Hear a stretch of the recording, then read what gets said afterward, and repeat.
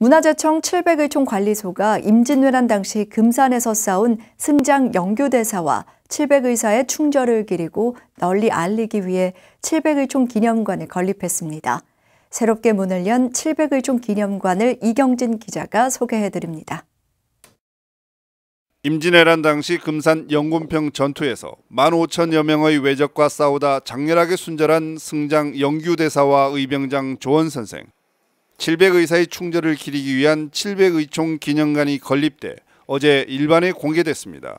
700의 의병의 유해와 넋을 모시고 있는 사적 제 105호 700의총 관리소가 그간의 단순한 추모 제양 공간을 넘어 관련 유물들을 한 곳으로 모아 전시하고 기리는 기념관을 새롭게 건립한 겁니다. 700의총 관리소가 1970년대 어, 이래 어, 약 40년간 넘도록 어, 특별한 어떤 유저 관리를 추구를 하지 않았습니다.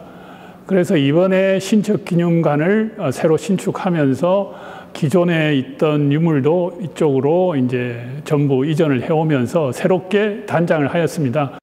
지난해 9월 기념관이 준공됐지만 코로나19로 개관이 연기돼 드디어 첫 선을 보였습니다.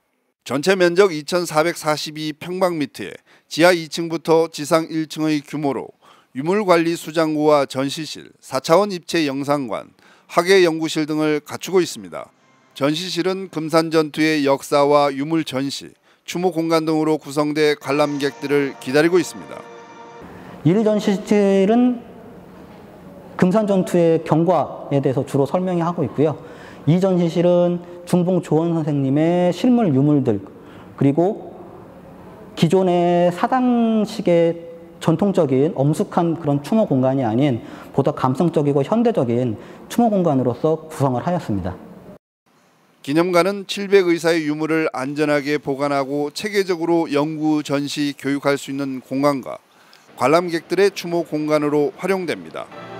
1일 최대 관람객 수 270여 명으로 제한하고 방역수칙을 철저하게 준수하며 개관한 기념관은 지역민들에게 다양한 문화 향유 기회를 제공할 것으로 기대됩니다. 현재 코로나19 사태로 인해서 하루에 약 270여 명으로 제한하고 있지만 어, 이, 이 방역과 관련해서 저희들이 만반의 준비를 하고 있기 때문에 걱정하지 마시고 언제든지 오셔서 어, 어, 관람해 주시길 당부드립니다. 700의총관리소는 임진왜란 당시 의병사 연구, 전시, 교육 활동을 통해 나라사랑 정신을 널리 알리고 지역사회와 소통하며 다양한 교육 체험 프로그램을 선보일 예정입니다. BTN 뉴스 이경진입니다.